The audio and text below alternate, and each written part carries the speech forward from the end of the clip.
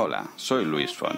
Bienvenidas y bienvenidos a Business Geek, un podcast donde hablamos de tecnología y negocios, para todos aquellos que quieran sacar el máximo de este mundo digital donde vivimos.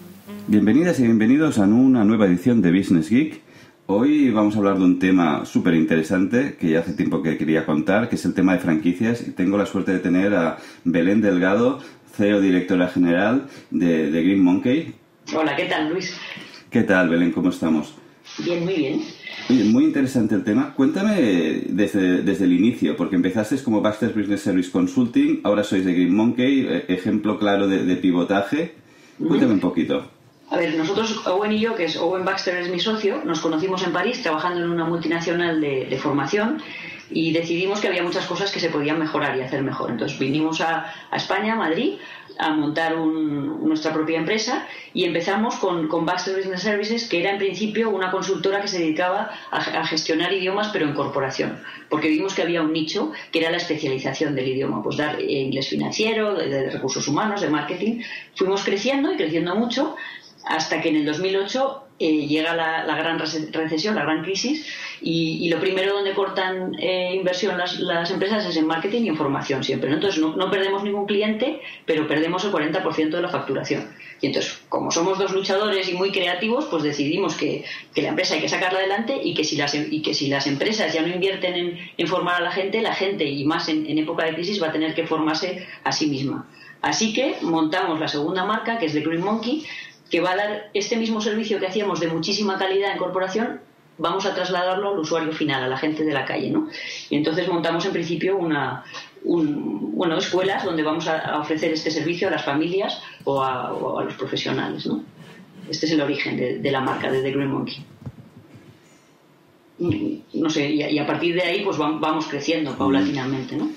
Bueno, eh, suena, suena un caso típico de éxito, de, bueno, las cosas van mal, pero hago un cambio y, y empiezo, empiezo otra cosa basada en, en ese claro. mismo modelo de negocio que tenía yo al inicio. Con cada, con cada crisis hemos crecido y hemos encontrado una solución mejor. Y ahora lo que nos está pasando, si por fin salimos de, de la crisis, que parece que es, el, que es lo que va a pasar, ¿no? Por fin, eh, no solamente tenemos un, un primer eh, forma de, hacer negocio, ¿sabes? Hemos encontrado cuatro formas diferentes de hacer negocio y vamos a crecer y estamos creciendo, de hecho, ahora mismo con las cuatro a la vez, ¿no? Entonces, cada crisis mejora, o sea, sí, un trago, ¿sabes? Pero lo pasas y, aumentas facturación y mejoras y, bueno, y creces de otra manera también. Pues cuéntanos un poco sobre esto. ¿Qué diferencia el proceso de franquiciar de Green Monkey frente a, a otras opciones que tiene la gente de emprender?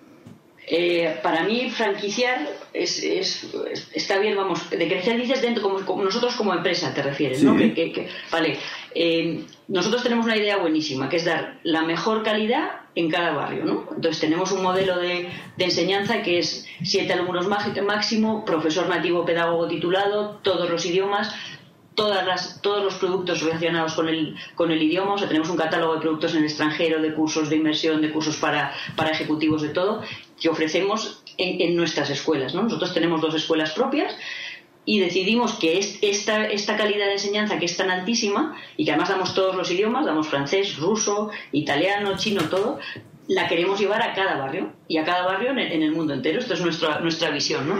¿Cómo vamos a hacerlo? Siendo eh, pequeñitos, ¿sabes? Siendo, siendo una pyme y con, y con, pequeña inversión. Pues la mejor es buscarse, eh, buscar la manera de, tener un partner, que para nosotros el franquiciado es un partner como una especie de socio, que crea en nuestro, en nuestro mismo proyecto y que en, en su barrio invierta en esta idea, ¿no? Entonces, eh, es una manera de crecer, de crecer rápido, de crecer rápido eh, con, con, cabeza, pero crecer de una manera más, más bueno, extenderse, ¿no? Eh, esto, eh, esto, es la manera ahora mismo, por ejemplo, que en Estados Unidos, como crecen todas las, las marcas, las, las, los restaurantes, eh, las, las, empresas de formación, todo es a través de franquiciados. Hay que tener una estructura muy sólida.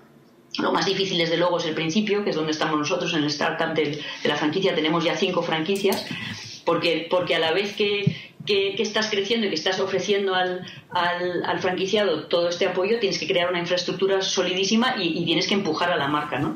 En el momento en que tienes suficiente volumen de franquicias, que es a, donde tenemos que llegar el año que viene, empieza a fluir, ¿no? Pero el principio es un empuje feroz entre, entre los nuevos franquiciados y, y la matriz que somos nosotros. O sea, es, es, es, muy interesante crecer así, pero, pero es difícil también. Y hay que hacer las cosas muy, muy bien desde el principio y acompañar mucho y ayudar mucho al franquiciado para que se sostenga este, este principio de crecimiento que es frágil. Cuéntame, cuéntame un poco sobre el equipo que guía a estos futuros franquiciados de Green Monkey. Es decir, cómo estáis estructurados, cómo lo hacéis, porque parece difícil.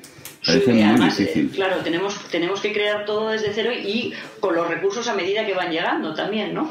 Entonces, eh, siendo, dos, siendo una empresa que nosotros éramos una empresa que dábamos servicio a, corporación, que teníamos dos escuelas, que teníamos servicio de programas extranjeros y campamentos, todo esto lo teníamos cubierto. Ahora llega un franquiciado eh, fuera y va a necesitar apoyo en marketing, va a necesitar más apoyo estructural. O sea, eh, ellos tienen su estructura dentro de su empresa, pero necesitan casi repetida la estructura para, desde nuestra parte, ¿no? Para, para servirles de apoyo. Pues esto vamos creándolo paulatinamente y a medida que vamos teniendo más franquicias tenemos que, hacer un departamento de marketing más sólido, tenemos que hacer un departamento de comunicación más sólido, tenemos que, empujar más la parte digital. Como te digo, vamos firmando más, vamos metiendo más, más, más personal eh, de mandos intermedios en la matriz. Llega un momento que tiene suficiente volumen, que pueden ser 20, 30 franquicias, y este crecimiento del, del sistema dentro de la matriz se estabiliza. Y entonces ya se convierte en una, en una empresa que está facturando, facturando de una manera sólida y fluida, ¿sabes? Porque sigue repitiendo el mismo modelo de negocio tantas veces más, ¿no? Pero para llegar a ese volumen tienes que equilibrar los recursos de la, empresa con el crecimiento que necesita lo que está viniendo desde fuera, que de momento no factura tampoco suficiente como para, para generar esos recursos. es un equilibrio muy... Estamos aquí todos trabajando muchísimo y muchísimas cosas a la vez, ¿sabes? Es un equipo además que tiene mucha ilusión. O sea, yo estoy entusiasmada con el equipo que hemos, que hemos conseguido crear, grandes profesionales y todo el mundo eh, creyendo en la marca y en el proyecto saldrá, pues, pues esto, un poquito más adelante, ¿no? Eh, es un modelo que suena a, este, a este dicho de los negocios de piensa global y actúa local realmente es así, ¿no? Es decir, vosotros este, tenéis una visión global de ir a muchos a muchas ciudades, pero realmente la actuación de los franquiciados es local, porque uno cuando busca cursos de idioma lo busca o cerca de su oficina o cerca de su casa. Claro, es, un negocio que funciona completamente en un barrio. O sea, tú al final te conviertes, si, eres, si tienes una franquicia de Green Monkey, te conviertes en el consultor de idiomas de tu barrio. Vas a dar todas las soluciones eh, sobre el idioma a, tu entorno, pero tu entorno llega hasta un punto, porque las dos franquicias, que, las dos, los dos centros que tenemos nosotros llevan ya unos años funcionando y nos hemos dado cuenta, buscando en Google Maps eh, a nuestros clientes cuál es nuestra área de influencia, que casi son pues tres calles andando y no hay más. Y, tienes 300, 350 personas apuntadas del entorno más, más, más directo. Entonces, al final es un negocio muy bonito porque, porque tienes mucha influencia si haces las cosas muy bien. Es como tener, nosotros lo llamamos escuelas, ¿no? Es, es igual que un, que un colegio, o sea, tienes esa influencia sobre el idioma en tu, en tu mini comunidad, ¿no? Y a la vez también pues la competencia se hace relativa. ¿no? Te pueden abrir el grandísimo centro fascinante eh, al, acabar el barrio, casi al lado, no te va a influir tanto, porque tu, porque tu área de influencia, y como son centros que no son muy grandes, eh, por eso con 350 eh, clientes, 350 o, 300 estás genial, facturando estupendamente, tienes, tienes un, área de influencia muy, muy local y, es, y, es, un negocio eso muy local, pero a la vez la visión o nuestra visión es, es aparte de que es llegar a ser una multinacional, llegar a muchos, a muchos sitios, es generar una, individuos, o sea, ayudar a, crear individuos que sean muy cosmopolitas, que tengan la mente abierta, que sepan pensar en el mundo en, muchísimo más allá que en tu barrio, ¿no? Es una combinación bonita de las dos cosas. Bonita y, buenísima. vamos, eh, coincido 100% contigo que eso de tener una visión global hace que la gente vea las cosas de otra forma, tenga la mente mucho más abierta y, no, tenga, y no tenga barreras mentales. ¿eh? Exacto, y que no tengas, y que no tengas miedo a lo, a lo diferente y que además si se come en otro sitio diferente, qué divertido, si se habla de otra manera que divertido, si se entienden las cosas de otra manera, si se negocia de otra manera, qué genial ¿no? que haya tanta variedad. Que, que, que en la variedad está la, la belleza y no, no, en mi pueblo y en mi, mi, cosa cerrada y solamente yo, ¿no? No puedo estar más de acuerdo. Oye, y si yo quisiera abrir una franquicia de Green Monkey, ¿qué, qué tendría que hacer? Que esto se lo pregunto a todos los emprendedores. A ver, eh, cuéntame qué tiene que hacer alguien que quiere, que quiere abrir una franquicia en tu caso. Bueno, pues nosotros lo primero que hacemos es se ponen en contacto con nosotros y hacemos un estudio del, perfil del, del, franquiciado, ¿no? Viabilidad, barrio, sobre todo qué, barrio elige, si el barrio es viable o no. Nuestro modelo es, es muy, muy bueno, pero claro, la, la bondad del, modelo es a costa de que no es un modelo barato. Es, es, es, fácil vender pues, pues algo muy barato si, si lleno las clases a tope o si al profesor le pago menos o es de peor calidad o lo que sea. Nosotros preferimos primar la calidad, con lo cual sí que es verdad que es un modelo que va a funcionar en un tipo específico de barrio, ¿no? de poder adquisitivo más o menos. Eh, también tenemos que ver si el, si el franquiciado es afín a nosotros y eso es importantísimo. Tienes al final una, un camino, porque nosotros firmamos el, eh, la franquicia por 10 años, es un camino larguísimo eh, empresarial y al final es como un socio. ¿no? Y entonces, mm, que meto dentro de mi sociedad tiene que ser alguien que nos, que nos podamos entender y que sobre todo tenga muchísimo espíritu de venta y emprendedor, o sea, que sea una persona que veamos que sea fuerte, ¿no? No necesariamente, y ninguno de los franquiciados que nos han firmado hasta ahora, no necesariamente tiene que tener conocimiento sobre el idioma, los conocimientos, el know-how lo tenemos nosotros. Necesitamos alguien que tenga empuje, que tenga un poquito de, de fuelle económico, pero no hace falta mucho para empezar, porque sí que es verdad que hay que ahora mismo las administraciones para este tipo de proyectos sí que apoyan y que luego tienes bueno líneas de crédito, tienes fondos B, tienes un montón de cosas que nosotros además acompañamos a los bancos porque trabajamos con, con varios bancos, acompañamos a los franquiciados a los bancos y les ayudamos con la financiación también, tenemos acuerdos firmados con dos o tres bancos para, para financiar a nuestros a nuestros franquiciados porque nuestro proyecto es viable y, y nos conocen, ¿no? Y, y, después esto, hacer un estudio, hacemos una presentación del business plan eh, miramos, eh, una vez han firmado el, el, precontrato, eh, les ayudamos con el local, con la adaptación del local, con todo, y hacemos luego un, plan de, de, marketing serio, efectivo, y, a partir de ahí lanzamos el proyecto en el barrio. Y, y por supuesto, los, cada franquiciado tiene exclusividad en el barrio que elige. Lo que veo es que eh, apoyáis muchísimo, por es decir, el, aquella persona que habéis seleccionado, que veis que tiene empuje, ganas, que está en un barrio viable y que tiene el mínimo capital para emprender, luego va de vuestra mano en prácticamente todo, en el plan de negocio, en el marketing, en, el, eh, en la búsqueda de profesores, eh, en todo. Yo creo que, mira, Luis, hasta ahora se han abierto muchas franquicias en España, pero que muchas han, han fracasado o están fracasando porque intentan imponerse, se, se convierten en una central de compras entonces intentan imponer, hacer el negocio en base a que el, a que el franquiciado compra sus productos, compra no sé qué, y luego no tiene ningún apoyo. Y están obligados por contrato a comprar lo, que ellos ofrecen. Nosotros preferimos ganar si el franquiciado gana, y así de claro. Entonces, que es, ofrecemos el servicio, nosotros damos muchísimo apoyo para ese servicio, porque una de las cosas que hacemos es que ese es el cuello de embudo en la formación. Nosotros damos los profesores a los, los profesores nativos ¿eh? de cada idioma al franquiciado. O sea, yo te pongo todo el modelo de negocio, te doy el know-how, te explico cómo hay que dar una clase, te doy mis manuales para dar las clases. No solamente esto, sino que además el profesor nativo que te estoy exigiendo que lo tengas, te lo consigo yo. Y te lo consigo de una manera bien, firme. Te monto además, tiene que haber en cada centro un manager y un head teacher. Te busco este head teacher, te ayudo con la, con la búsqueda del manager. Y una vez el centro está funcionando, no tienes que comprarme nada. Tienes que si hay unos servicios fuera, que es por ejemplo los campamentos y los y los cursos en el extranjero y, una serie de productos que hacemos nosotros y que el franquiciado vende y se va a llevar como agente una, una muy buena comisión de esta venta, que es lo único que te voy a obligar, sí, a que los campamentos que se hagan en tu centro son los, son los nuestros, pero tenemos un rango enorme de, de programas. Eh, pero solamente gano como, como franquiciador si tú ganas con mi, con mi fee de, de, del royalty. Muchas franquicias han fracasado porque el, franquiciado está obligado a comprar unos una serie de productos que luego ve que en la carnicería al lado a lo mejor están más baratos, ¿sabes? O que me estás obligando a comprar una cosa que no tiene salida, que no se vende en mi, barrio.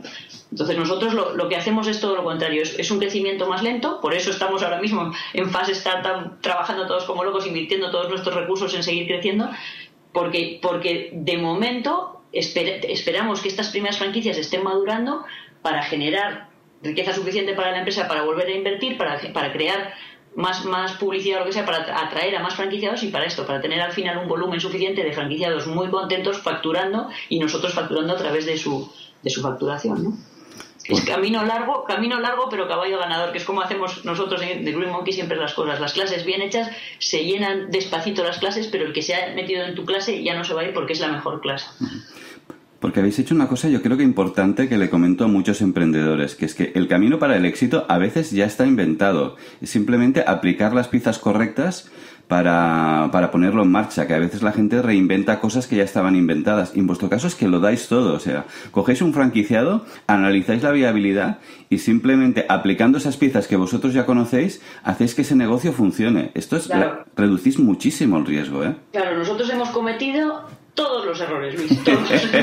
Eso me suena. ¿Dónde he oído yo esto? Caído ya 700 veces, nos hemos levantado y además tenemos dos, dos centros para que, para que sean los laboratorios. Si ensayamos cosas nuevas, ahora por ejemplo acabamos de sacar un máster de idioma, ¿sabes? Que es espectacular, lo ensayamos primero nosotros. Vemos que funciona, que tiene viabilidad, cómo, cómo encaja en el mercado y entonces lo ofrecemos al franquiciado detrás.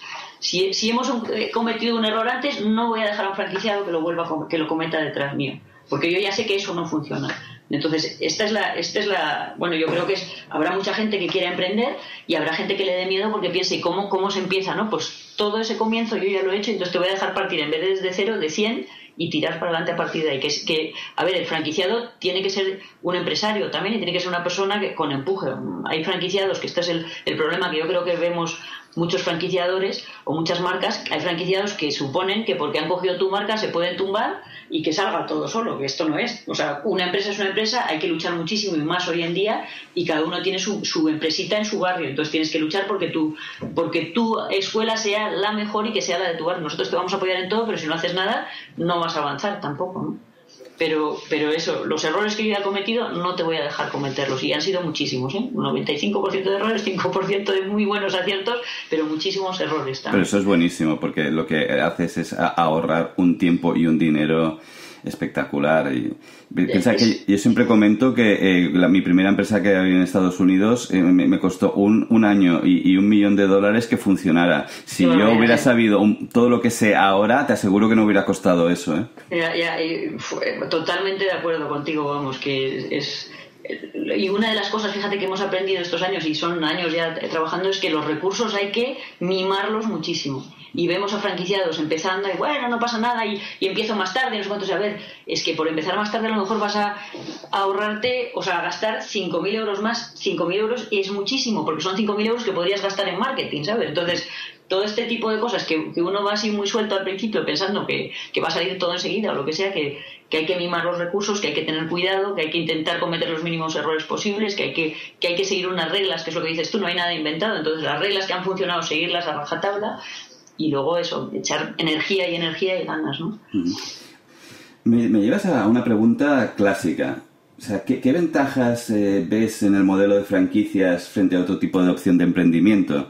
Es decir, yo veo muchos emprendedores, pero es que esta me parece una, una excelente opción para gente que, que, tiene otro perfil de emprendimiento que no es tan, tan de riesgo ni, ni, tan tecnológico. ¿Qué, qué, qué, le, ¿Qué le dirías a alguien que quiere montar una franquicia? El, como franquiciador o como, franqui, o como franquiciado? O sea, desde el punto de vista empresario. Desde el punto de vista de... A mí me viene mucha gente, eh, muchas veces, que no son el típico emprendedor que va a montar su empresa desde cero, que quiere algo más sólido. a, este emprendedor que, que, yo creo que le encaja muy bien la franquicia, eh, ¿qué, qué, le dirías? Hombre, yo encuentro que es un, un modelo estupendo para una persona, por ejemplo, imagínate que esto hay muchísimo ahora mismo, que, es mayor, o sea, que se sale dentro del, o sea, de 40, que no es mayor, ¿sabes? Pero pasa de 40 y que, y que no tiene trabajo, que le han puesto en el paro, y que, pero le han, a lo mejor le han indemnizado o tiene capacidad, que es una, una, buena, una persona buena profesional, ¿no? Pero es que jamás se le había planteado, o sea, se le había pasado por su cabeza otra cosa que no fuera trabajar para alguien. Pero ahora, y tal y como está el mercado, no va a encontrar trabajo seguramente. O sea, a partir de los 45 años, si estás en el paro, la llevas muy cruda, ¿no? O a lo mejor sí encuentras, pero hay mucha gente que no va a encontrar. Bueno, pues para este perfil, por ejemplo, que nunca ha pensado en montar algo, pero que tiene que sobrevivir. Modelo excelente. O sea, hay que buscar con mucho cuidado, hay que mirar que realmente te acompañan, hay que mirar si encajas en el, en el modelo de franquicia, todo. Pero yo encuentro que para este perfil de persona, genial para salir. Personas que tienen, que tienen ahorros, también, que hemos visto, eh, o sea, parte de, nuestro, de nuestros franquiciados o la gente que se está acercando a nosotros, eh, profesionales que han ahorrado a lo largo de su vida, que tienen ahí unos ahorros y que piensan ahora ni mercado inmobiliario, ni, ni no sé qué, porque esto se cae, ¿sabes? Si tengo mis ahorritos aquí separados o, voy a diversificar mi, mi inversión pues es una buenísima manera, porque además sobre todo nuestro modelo que se maneja solo, o sea, tú tienes desde el punto de vista franquiciado eh, puedes estar encima eh, controlando, pero, pero el modelo que tenemos y es eh, viable y viabilísimo, ¿sabes? Económicamente, tenemos a, dos personas que llevan la gestión y que no necesariamente tiene que ser el franquiciador. O sea, franquiciado, perdona. Eh, para este eh, perfil de persona estupenda. Y luego para una persona que sí quiere ser emprendedora, pero que dice, caray, ¿cómo se come esto? Pues genial también porque sabes que tienes un apoyo, te va a costar, ¿sabes? El, know-how y te va a costar una, cantidad, pero que tienes una, un apoyo y sobre todo una inversión. Y nosotros tenemos muchísima inversión en I +D, que conocemos el mercado, entonces estamos todos los años sacando productos nuevos, mejorando los que tenemos todo, que a lo mejor una empresa pequeñita, una pyme en un barrio no va, no va a poder hacer esto, ¿no? O tenemos una inversión grande en comunicación digital o en, o en, ¿sabes?, en, marketing, en cosas así que, que, te van a ayudar también a vender mucho, ¿no? Que no es lo mismo abrir una escuela de idiomas en tu barrio que, que, ya reconozca a la gente, ah, mira, me han abierto un Green Monkey, qué bien, ¿sabes? Y es llegar a esto, pues sabes que las, las ventas te las va a empujar también muchísimo más, ¿no? Entonces, para mí esos tres perfiles encajan perfectamente con una persona que diga, ¿qué hago? Quiero, quiero montar algo y como empiezo, pues franquiciar. Franquiciar es, es estupendo. Perfecto, porque me, con esto me tocas el otro tipo de emprendedores que yo quería tocar en, mis programas, que es e, e, el emprendedor no tan tecnológico, no tan de riesgo, pero que quiere ser emprendedor y que quiere ser adelante. Y tienes tanta razón en esto. No sé qué pasa en este país, que la gente de más de 45, de más de 40 y algo, es que para la, mediana y gran compañía es que han desaparecido. Ya, eh, ¿Sabes por qué, Luis? Porque para una gran compañía le sale baratísimo contratar a alguien joven.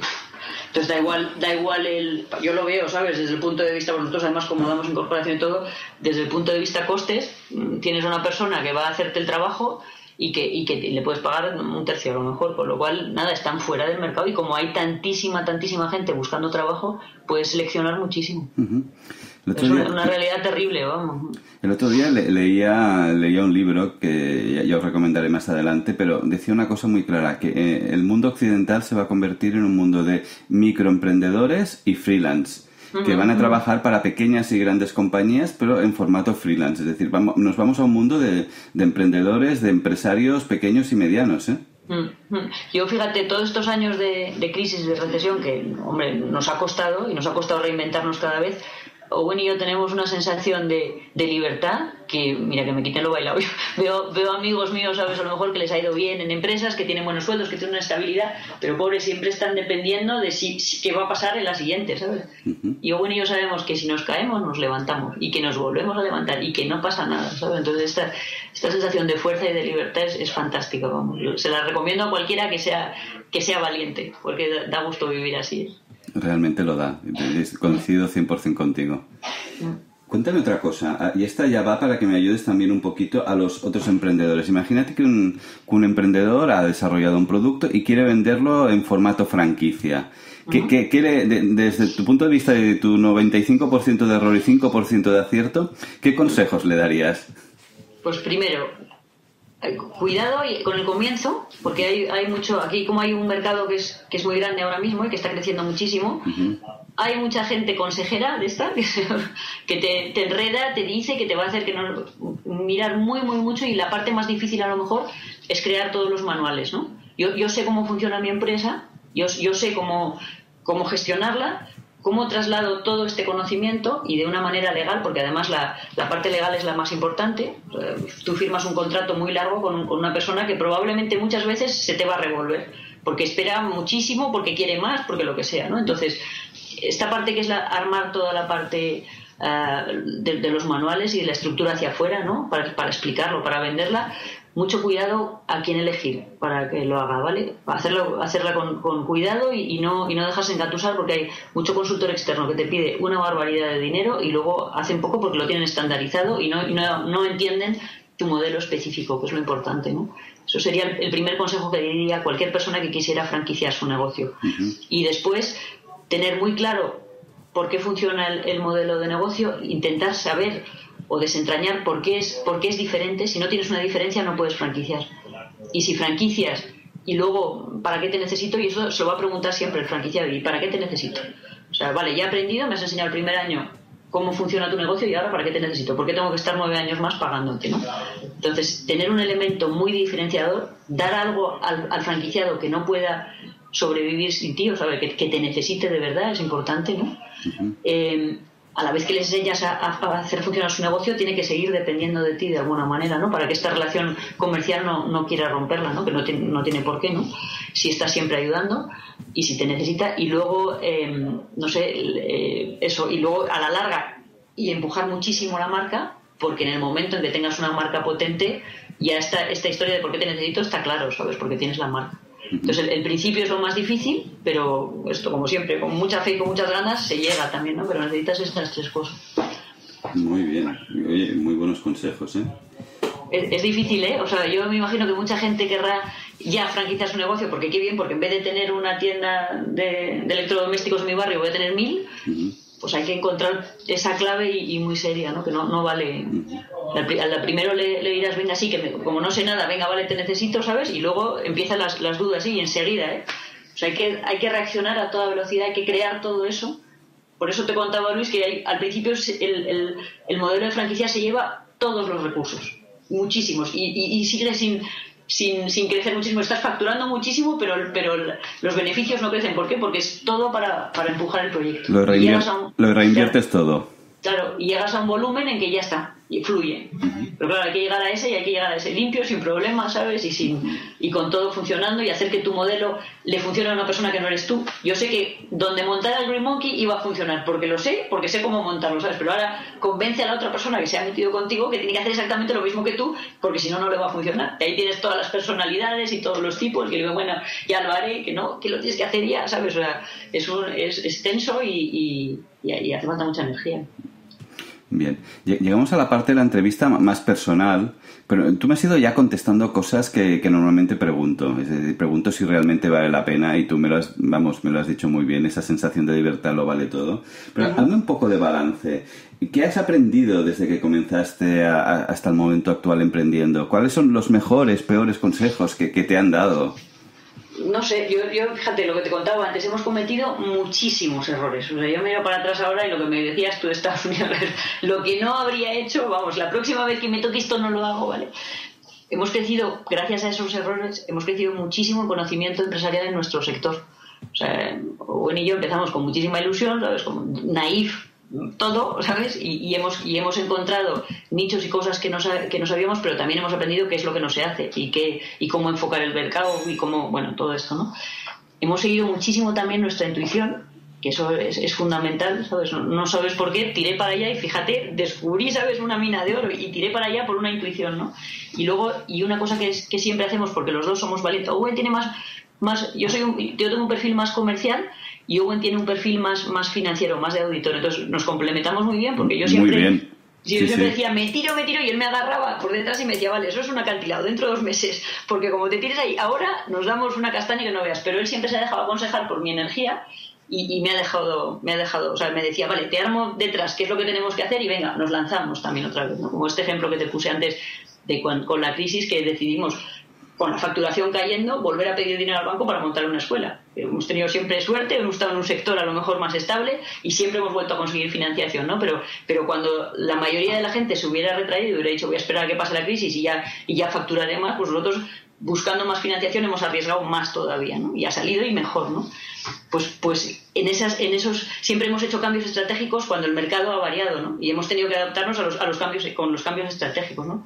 Y luego, lo que sí que hemos notado de, balance, yo diría, ¿sabes? Que, que, en todos estos años, pues que, hemos, hemos conseguido que, el proyecto, en medio de todos estos horrores de, tiempos que nos toca de todo, que el, proyecto siga creciendo en facturación y que además lo, veamos madurar para mí es como un, como un hijo, ¿no? Lo miras y dices, caray, cómo ha crecido desde que empezamos, que empezamos nada, en una habitación los dos haciendo llamadas y, y yo al principio, que también tiene un perfil de, de, profesor, pues salía a dar las clases él y luego empezamos a contratar a gente y luego no sé qué, o sea, hemos ido creciendo desde la nada, nada, nada, a tener un equipo ya de 90 personas trabajando con nosotros y, y cinco franquicias en el primer año, que no está mal, ¿no? Está muy bien. En el primer año ya le gustaría. El primer año de, de, sí.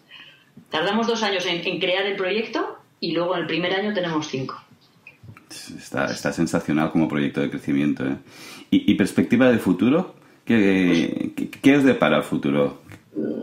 Como te he contado antes, yo, yo quiero tener una... o sea, yo tengo una multinacional entre mis manos. lo, lo sé. Entonces, en principio estas cinco que tenemos están dentro de la Comunidad de Madrid, porque es, ¿cómo, ¿cómo, empiezas con una franquicia? Primero ensayas en, un, en tu espacio ¿no? Eh, físico, después deslocalizas en un espacio físico más lejano que es otro barrio, ¿no?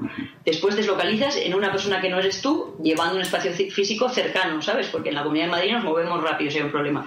Este año la idea es salir al ámbito nacional y a partir del año que viene, si, si ya estamos, yo quiero Europa y América Latina, que sería lo lógico, y, a partir de ahí el mundo entero. ¿Por qué no? Porque además, como damos todos los idiomas, pues en Estados Unidos se adaptaría español, francés, alemán, en, América Latina darías inglés y no sé qué, o sea, ir, cambiando, ¿no? O sea, es, un modelo exportable al mundo entero, ¿por qué no?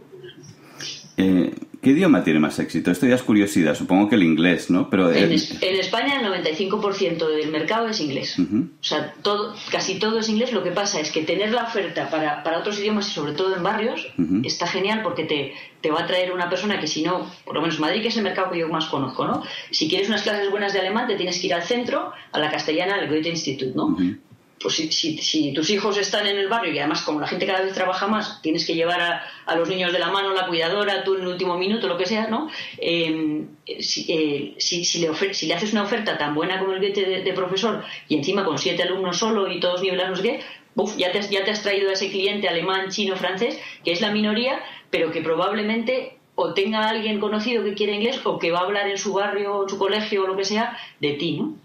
Eh, damos también adultos, ¿eh? o sea, hacemos todo el rango de, clientes, pero, pero el hecho de tener una oferta más amplia, un abanico más amplio, te va a traer el cliente más general que es el, de inglés. ¿no? El, segundo y el tercer idioma es curioso porque cada año cambia. Hace un par de años el segundo idioma más, más demandado era el chino y este año con estos dos o tres años últimos con la crisis es el alemán. Y, el chino ha pasado a cuarto puesto porque mucha gente supongo que está pensando que tiene una, una salida laboral yendo a trabajar a Alemania. Alemania pero, pero lo curioso es que un idioma no se aprende en un día, en un año o dos, que necesitas un largo recorrido de siete años y que cambie todo el mundo. Eh, dos años de chino, ahora todo el mundo, dos años de alemán. Pues no tiene mucha lógica, pero bueno, así es como funciona el mercado y nosotros es otra cosa, adaptarse al mercado, ¿no? Que ahora es alemán todo, pues a la alemán todo, nos da igual, ¿sabes? Podemos ofrecer la misma calidad también. Está está, está muy bien. Era una curiosidad que tenía ver qué, qué, idioma, después del inglés era el que tenía. Ya me lo has contestado que, que de momento en España está siendo el alemán. Ahora el alemán y el francés siempre está ahí. ¿eh? El francés siempre es el tercero y entre el chino y el alemán estos últimos años se quitan el puesto, luego otros años, o depende también de los barrios. Es curioso porque luego descubres muchas, muchas cosas de cada barrio. Hay, hay barrios... El, el barrio tiene vida también, ¿sabes? Entonces tenemos, por ejemplo, uno de los barrios donde tenemos uno de los monkeys es un barrio donde está donde hay un, está la embajada y la veeduría cultural de, de Arabia Saudí, entonces tenemos una demanda altísima de español para, para extranjeros que además no tienen lectoescritura, que es como los tratas como si fueran niños niños que no, todavía no saben leer y escribir porque escriben en, en su con su con su, caligrafía, ¿no? En árabe, ¿no? Claro. En árabe, entonces te, vienen a dar una clase que tienes que dar oral solamente, que no puedes dar nada escrito, pero es un adulto, ¿no? Entonces tú vas adaptando a tu, que es otra de las cosas que ofrecemos al, al franquiciado, qué barrio te toca, cómo es tu barrio, vamos a adaptar el, nuestro, con nuestro I más D, vamos a adaptar nuestro, nuestra, nuestro servicio a tu barrio para ayudarte a vender más. Muy interesante. Pero muy interesante esto que has explicado, de que, bueno, tienes que adaptarte a la, al entorno local que te vas a encontrar. Esto de que no puedas dar clases con, con lectoescritura me ha parecido buenísimo. y tienes un, perfil de clase diferente, que te vamos a decir cómo se da, y un perfil además también a lo mejor de profesor diferente, porque este cliente específico demanda este tipo de profesor, ¿no? Pues tú, te adaptas al, al, cliente y, así facturas más, que al final es lo único que queremos, o sea, dar muy buen servicio, pero una, una empresa es para facturar y, y tener beneficio. Buenísimo. ¿Y a qué ciudades que vais a expandir en, en España? ¿Qué ciudades tenéis como objetivo a, a, corto? Claro, el ideal sería Barcelona, desde luego, que es igual de grande que, que Madrid que, y que tiene la misma capacidad de, de conseguir muchos barrios eh, que, nos, que nos sirvan, muchos mucho profesor, ¿sabes? Que, que se pueda, que, que podamos contratar. Y, y, luego nada, tenemos, hemos dividido el ámbito nacional como en tres sectores. El primer sector es ciudades como target alto, ¿sabes? Que sería eso, Barcelona, Valencia, Alicante, Zaragoza, ¿sabes? Bilbao. Tenemos una lista y a partir de ahí, cuando el modelo sea, y no, y no antes, ¿eh? Luis, cuando el modelo sea suficientemente sostenible, con una marca más sólida y todo, te puedes bajar al segundo nivel de ciudad, no porque la ciudad no lo vaya a demandar y no lo vaya a, ¿sabes?, que sea que, sea viable también, ¿sabes? Sino que es más difícil a lo mejor cuando hay menos volumen de, población o cuando la población tiene un poder adquisitivo más, pues a lo mejor de menos rango de, de ¿sabes? Siempre hay gente con poder adquisitivo alto o medio alto, pero que, que no haya suficiente volumen, ¿no? Entonces, el crecimiento lo vamos a hacer despacio otra vez, ¿sabes? Con cuidado, empezar por ciudades que sean muy, muy viables y a partir de ahí poder llegar a, todas las que se puedan llegar. Me imagino que es, es muchísimo más difícil. Eh, a lo mejor una ciudad, bueno, es facilísimo Barcelona, lo veo, y es muchísimo más difícil a lo mejor para empezar una ciudad como Jaén, ¿no? Mm, que cuando funcione el modelo en varias ciudades diferentes, Jaén también. ¿Y por qué no Jaén, sabes? Pero, pero para no arriesgar el, el, bueno, la inversión del franquiciado, ¿no? Vamos a esperar, vamos a esperar un año más y entonces ir a, ir a esa otra segunda fase. Yo, yo ahí, hay opinión personal, le veo un mercado tremendo, sobre todo en los niños, porque lo que estoy viendo es cada vez más padres eh, enfadados, auténticamente enfadados con el sistema educativo español, que realmente hace que un niño acabe con 16, 17 años eh, y, no hable inglés con nuestro sistema educativo. es, es un drama eso, ¿eh? Bueno, hay, hay dos problemas. Fíjate, una, que, que, lo primero que tendrían que hacer los colegios es, es dividir las clases por niveles, las clases de idioma.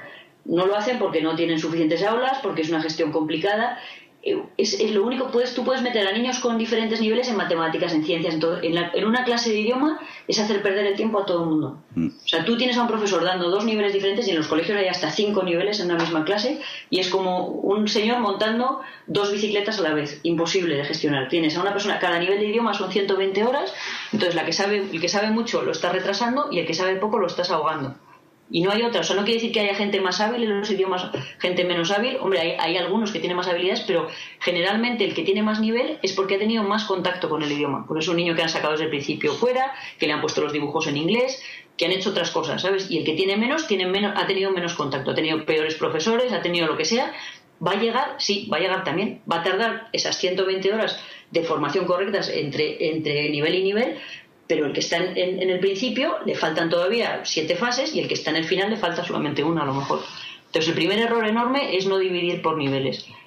¿Qué carencia, la carencia que, te falta la, suple la escuela afuera, que está bien, ¿no? Yo te, yo te voy a dar esos agujeros, tú estás a lo mejor, te están poniendo en un, en un nivel en el colegio intermedio, que es una barbaridad porque tú solamente eres elemental, en la escuela te voy a ir despacito, o sea, yo no te puedo hacer llegar a intermedio rápidamente, pero te voy a ir metiendo las carencias que te, que te faltan en el colegio, porque además el colegio ya te están dando el nivel intermedio y se han dejado todo, todo lo demás por detrás, ¿no? Es como meterte en una clase de la universidad de matemáticas eh, y, sin haber hecho el colegio antes nada de matemáticas, pues es la, misma sensación, ¿no? Mm. Entonces, y luego, y luego el bilingüismo, que está muy bien, ¿sabes? Están intentándolo en algunas comunidades, lo que sea. El, el profesor nativo jamás, inglés y irlandés, ¿eh? jamás se va a venir, o poquísimo se van a venir, el, de primaria, ¿eh? que ha estudiado, que es maestro, digo, se va a venir a, trabajar a España, pues porque el, sueldo es un tercio de lo que cobran allí.